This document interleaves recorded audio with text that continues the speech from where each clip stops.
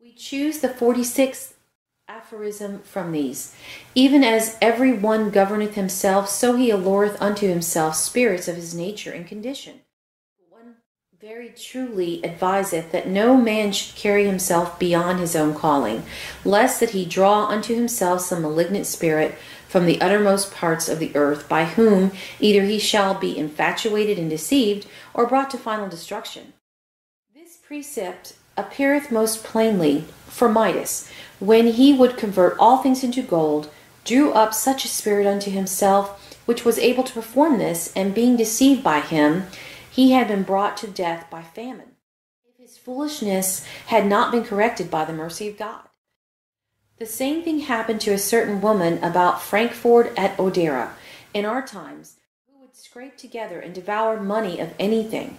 Would that men would diligently weigh this precept and not account the histories of Midas and the like for fables, they would be much more diligent in moderating their thoughts and affections.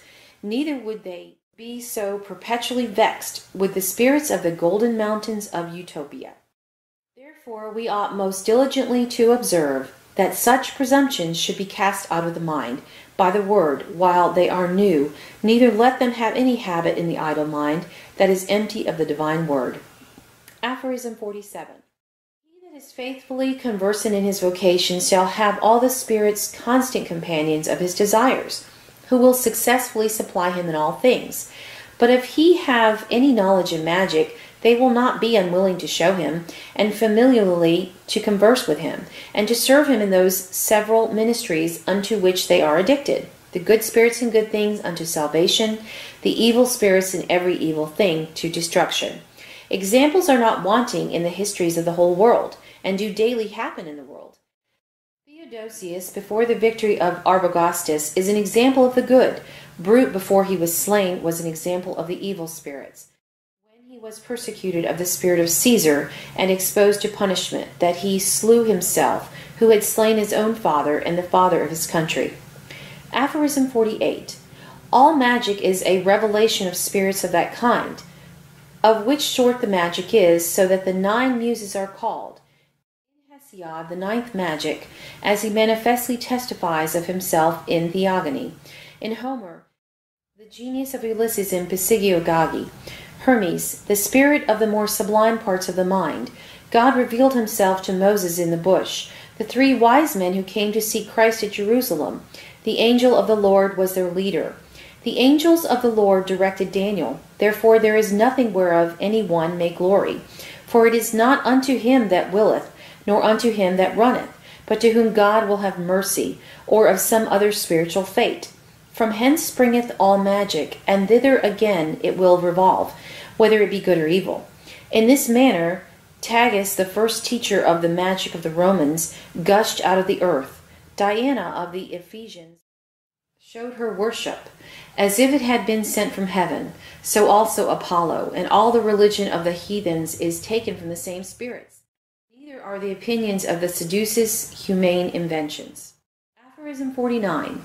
The conclusion, therefore, of this Isagoge is the same which we have above already spoken of that even as there is one God, from whence is all good, and one sin, to wit, disobedience against the will of the commanding God, from whence comes all evil, so that the fear of God is the beginning of all wisdom, and the profit of all magic. For obedience to the will of God follow with the fear of God, and after this do follow the presence of God and of the Holy Spirit, and the ministry of the holy angels, and all good things out of the inexhaustible treasures of God. But unprofitable and damnable magic ariseth from this, where we lose the fear of God out of our hearts, and suffer sin to reign us in. There the prince of this world, the God of this world, beginneth, and setteth up his kingdom instead of holy things. In such he findeth profitable for his kingdom there, even as the spider taketh the fly which falleth into his web. So Satan spreadeth abroad his nets, taketh men with the snares of covetousness, until he sucketh them, and draweth them to eternal fire. These he cherisheth and advanceth on high, that their fall may be the greater. Courteous reader, apply thy eyes and mind to the sacred and profane histories, and to those things which thou seest daily to be done in the world, and thou shalt find all things full of magic, according to a twofold science, good and evil, which that they may be the better discerned. We will put here their division and subdivision for the conclusion of these isagogues, wherein every one may contemplate what is to be followed and which is to be avoided, and how far it is to be labored for by every one to a competent end of life and living. Theosophy knowledge of the Word of God and ruling one's life according to the Word of God. Knowledge of the government of God by angels, which the Scripture calleth watchmen, and to understand the mystery of angels. Good. Anthroposophy given to man. Knowledge of natural things, wisdom and humane things. Sciences. Cacosophy. Contempt of the Word of God, and to live after the will of the devil. Ignorance of the government of God by angels. To contemn the custody of the angels, and that their companions are of the devil. Idolatry. Atheism. Evil. Cacodemony. The knowledge of poisons in nature, and to use them wisdom in all evil arts to the destruction of mankind, and to use them in contempt of God and for the loss and destruction of men. Fini.